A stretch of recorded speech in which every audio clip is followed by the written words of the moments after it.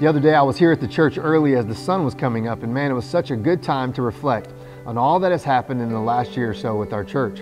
Remember the commitment it took for us all to get this worship center ready?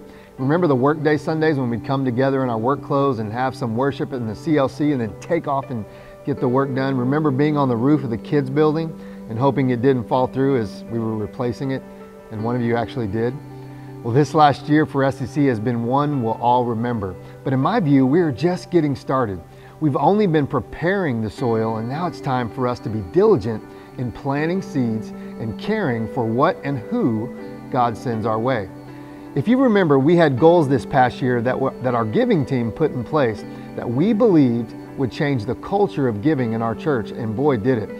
We saw our goal of more than 20 families attend Financial Peace and to find out what it means to get control of their finances and to get peace back in their lives, peace back in their marriages, and, and peace back in their families.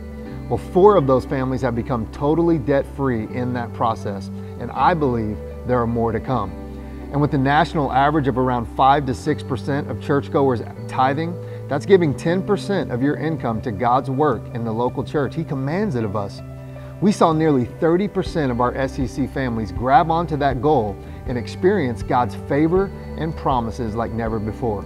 You see, it's that kind of commitment and faithfulness that affords us the opportunity to carry out the vision of moving into 20 acres of land and seeing lives changed.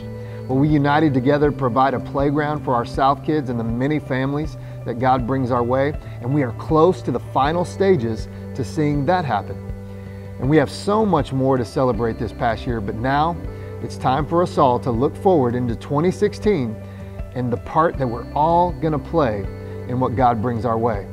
In the coming weeks, our leadership will be sharing more about what's next for SCC and the commitment it will take to get us there.